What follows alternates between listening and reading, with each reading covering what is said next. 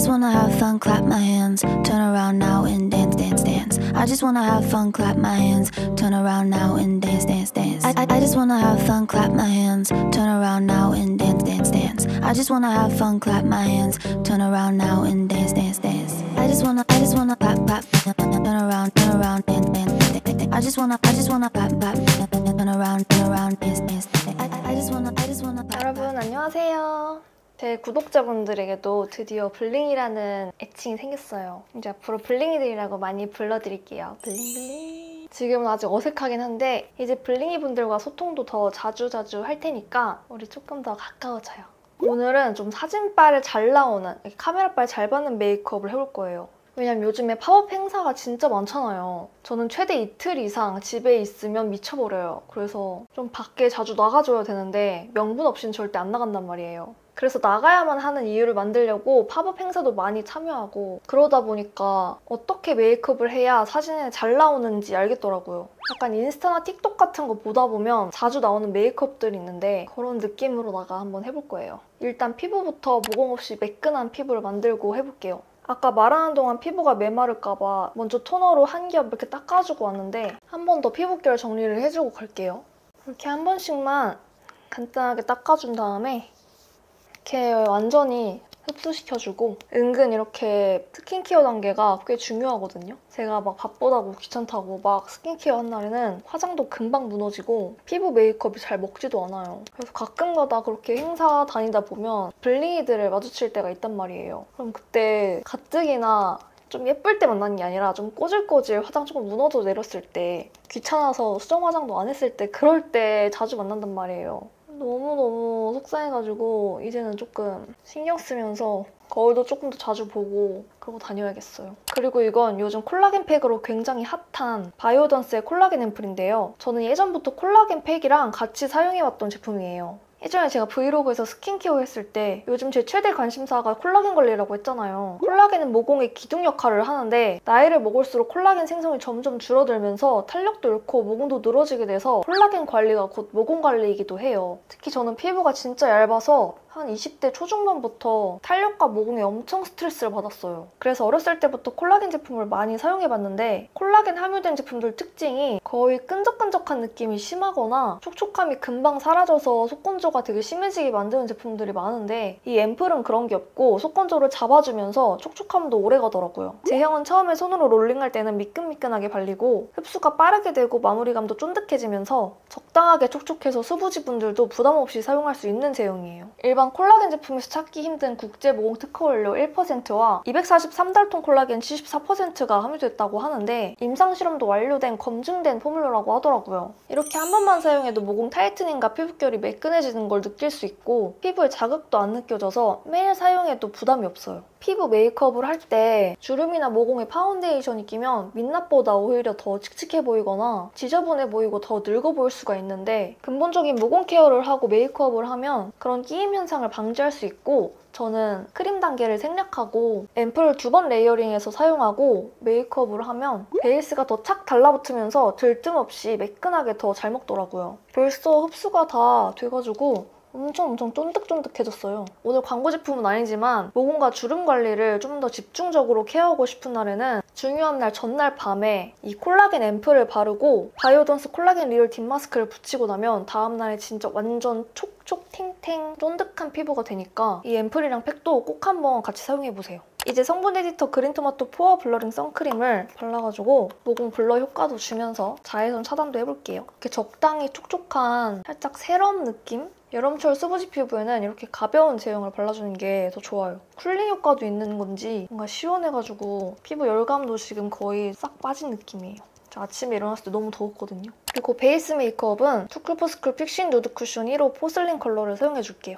이 쿠션이 레오제이님이랑 공동 개발을 하셨다고 해가지고 되게 기대 중이에요. 지금 오늘 처음 써보는 거거든요. 음, 되게 피부 표현이 예쁘게 발린다. 생각보다는 커버력이 조금 있네요. 피부에 얇게 딱 밀착되는 느낌이에요. 컬러도 제 피부에 딱인데요? 이게 지속력이랑 또 무너질 때는 어떻게 무너지나 이것도 나중에 봐야 되기 때문에 오늘 한번 지켜보고 여기 자막에다가 지속력 결과가 어땠는지 써드릴게요. 이렇게 쿠션까지 다 깔아줬는데 오늘 베이스 진짜 잘 먹은 거 보이시죠? 그리고 이번에 조르지오 아르마니에서 새로 나온 파우더 팩트를 사용해볼게요. 밑에 퍼프도 내장돼 있거든요. 얇아가지고 가지고 다니기에도 편하고 모공 blur 효과도 줄 수 있고 이게 광이 돌면 예쁘지 않은 부위에만 파우더 처리를 해주고 오늘은 웜톤 분들을 위해서 평소보다는 조금 미지근한 톤으로 메이크업을 해볼 거예요. 먼저 위에 있는 밝은 베이지 컬러로 눈두덩이랑 언더 전체에 넓게 넓게 발라서 옅은 베이스 음영을 깔아주고 시작할게요. 그리고 밑에 브라운 컬러로 눈 끝부터 조금 더 그윽하게 음영을 한 톤 더 깔아줄게요.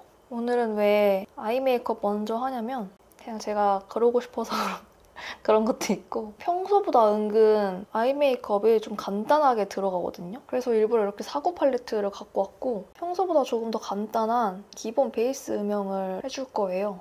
쌍꺼풀 라인 쪽에 특히 음영을 좀 더 줘서 쌍꺼풀이 조금 더 강조되어 보이도록 해줄 거예요. 언더도 삼각존부터 이렇게 눈 앞에까지 음영을 끌어서 가져오고 이렇게 애교살 음영도 같이 줄게요. 그리고 어두운 브라운 컬러를 사용해서 아이라인 그려줄 곳에 먼저 영역을 잡아줄게요. 이렇게 속눈썹 모근 근처까지 꼼꼼하게 채워준 다음에 꼭 그 인스타의 힙한 메이크업은 눈꼬리를 조금 올려줘야 된단 말이에요.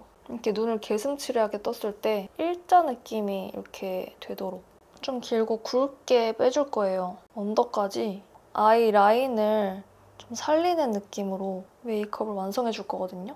이게 눈이 가로로 길어 보이려면 여기 눈 끝지점이 약간 밑으로 내려와서 언더랑 어느 정도 이어져야 되거든요. 너무 따로 놀면 저같이 눈매가 위로 올라가 있지 않은 눈은 사람 메이크업이 아니라 무슨 불사조 분장 마냥 그렇게 되더라고요.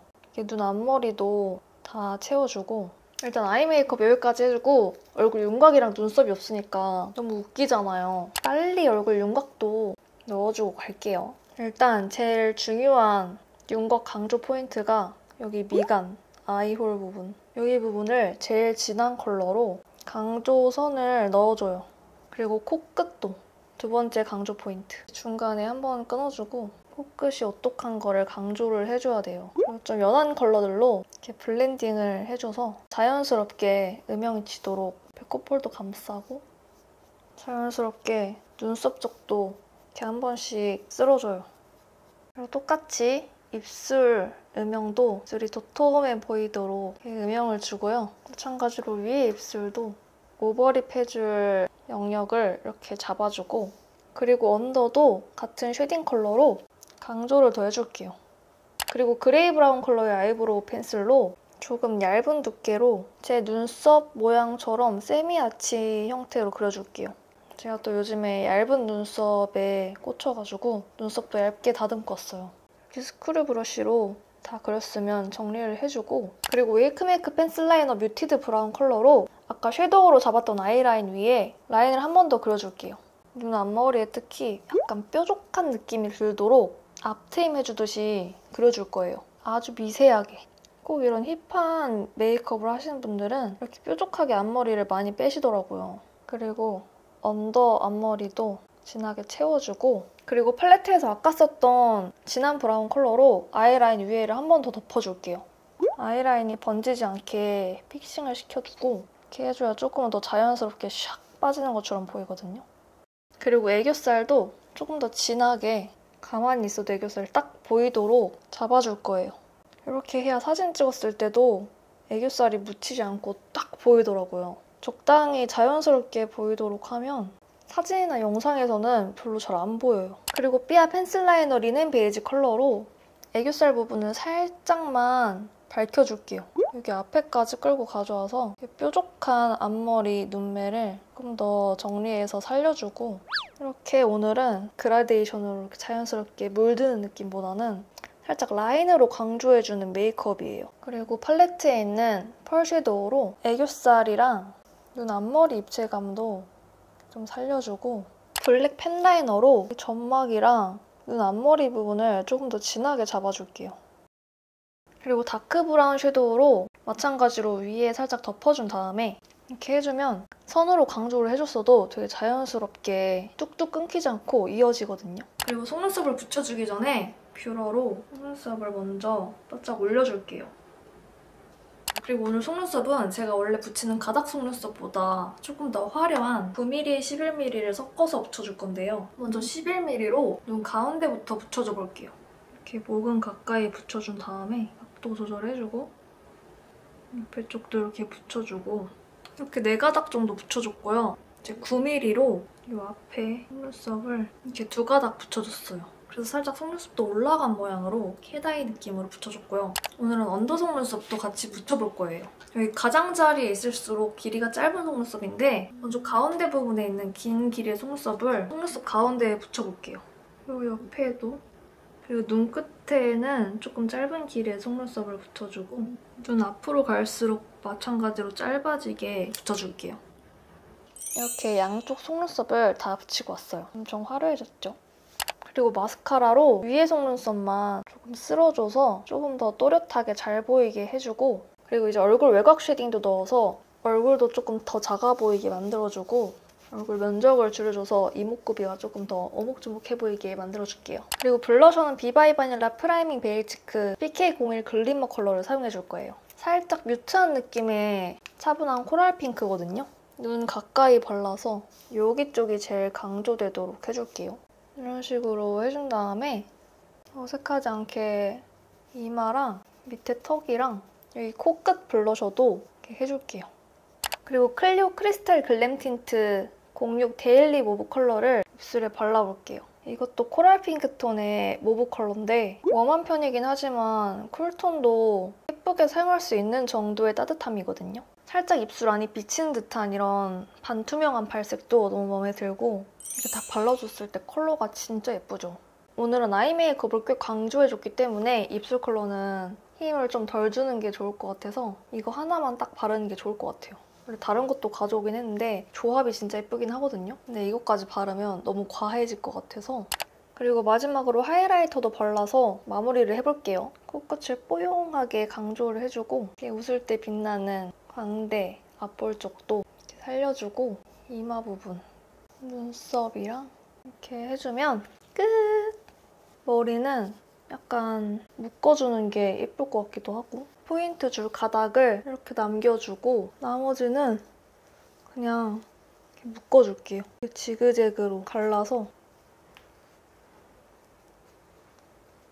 이렇게 해서 깃털bun을 만들어주고 스프레이를 손에 뿌려가지고 여기 앞머리 결을 조금만 살려줄게요.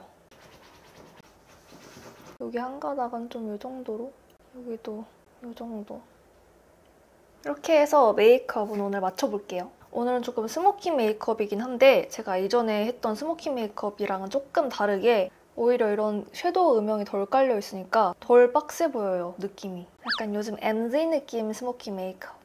이렇게 메이크업 하면 실제로 사진도 되게 예쁘게 나오고 뭔가 이런 hip한 감성 아시죠? 약간 후레쉬 팍 터트려가지고 노출 세게 해서 그런 거 아시죠? 그래서 오늘 메이크업이 마음에 드셨다면 좋아요랑 구독도 눌러주시고 hip한 느낌 내고 싶다 하시는 분들 메이크업 사진 찍을 때 꼭 한번 해보세요. 그럼 저는 다음 영상에서 또 볼게요. 안녕! 또 봐요 블링이들 I just wanna have fun clap my hands turn around now and dance dance dance I just wanna have fun clap my hands turn around now and dance dance dance I, I, I just wanna have fun clap my hands turn around now and dance dance dance I just wanna have fun clap my hands turn around now and dance dance dance I just wanna I just wanna clap clap turn around turn around dance dance dance. I just wanna, I just wanna pop, pop, turn around, turn around, dance, dance. I, I, I just wanna, I just wanna pop, pop.